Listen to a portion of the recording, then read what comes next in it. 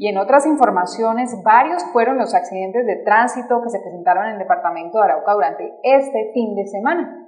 Dos personas murieron y un carro de la Unidad Nacional de Protección, UNP, se vio involucrado en un accidente en el aeropuerto Santiago Pérez Quirós. Varios accidentes de tránsito se presentaron durante el fin de semana en el departamento de Arauca. Una persona murió en el municipio capital y otra en el municipio Cubará, en Boyacá. Uno de los más graves también fue cerca del aeropuerto Santiago Pérez Quirós. Lamentable, durante este fin de semana se nos presentaron múltiples eventos de accidente de tránsito con, con lesionados y uno desafortunadamente con persona fallecida. Eh, uno de los más resaltados es en el municipio de Arauca, capital, en el kilómetro 9 entre la vía que conduce a Arauca hacia Corocoro. Desafortunadamente, aproximadamente a esa hora se presenta la colisión entre un vehículo de tipo camioneta y una motocicleta en los cuales resultan dos personas lesionadas menores de edad. De manera inmediata fueron trasladados al hospital y se hicieron las pruebas de embriaguez y estamos ya a la espera del dictamen médico legal para poder realizar los procedimientos y entregarlo a la Fiscalía.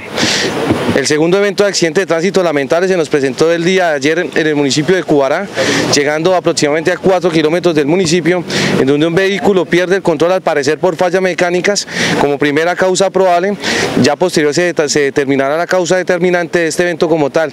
De este evento desafortunado pierde la vida una señora eh, de aproximadamente 26 años de edad y eh, resultan tres personas lesionadas.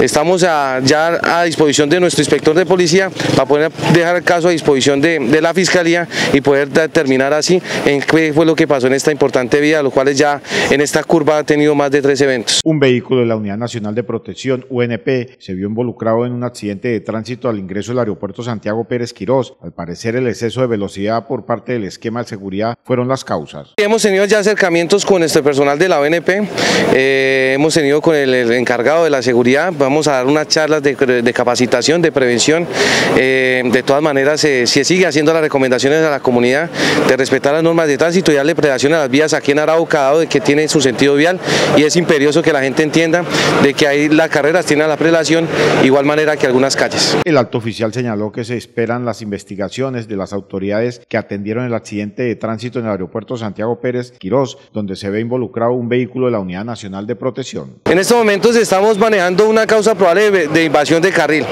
Eh, realmente darle, determinar en estos momentos de quién es la causa determinante es, es, ya es responsabilidad de nuestra Fiscalía, pero la causa probable tenemos como invasión de carril inicialmente.